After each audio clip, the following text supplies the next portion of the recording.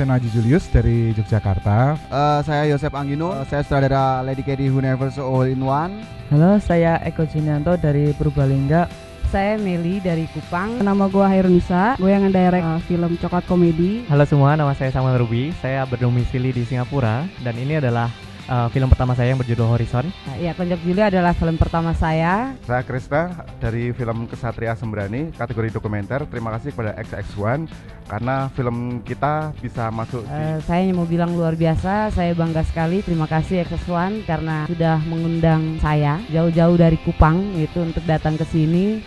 Saya senang sekali tahun ini film saya masuk lagi jadi finalis di 21 Short Film Festival dan saya merasa terhormat bahwa film pendek saya mendapat ruang untuk dipertontonkan di sini.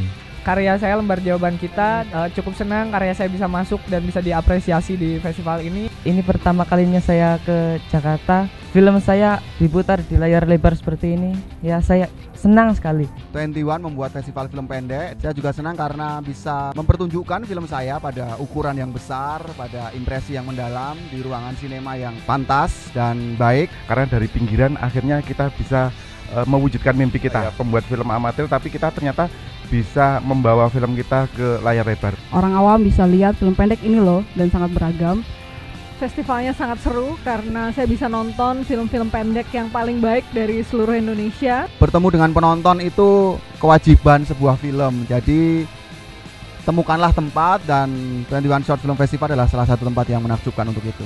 Buat saya itu akan menjadi bahan pembelajaran bagaimana film-film kita bisa uh, jadi tahu, bisa tahu apa kekurangan dari film kita, bisa melihat antusias penonton di studio yang sangat besar dan studio yang sangat luar biasa. Jadi bisa lebih baik lagi. Harapan saya tahun depan, tahun depannya lagi, tahun depannya lagi SX1 akan terus ada. Untuk teman-teman yang ingin merasakan pengalaman ini silahkan daftarkan film kalian ke SX1 Short Film Festival tahun depan. Jangan pernah takut buat mengirimkan film-film kalian karena kalian nggak pernah tahu kalau misalnya film-film kalian sebenarnya bisa diputar di bioskop-bioskop di Indonesia.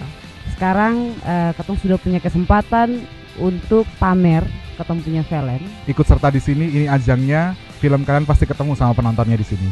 Terima kasih SX1.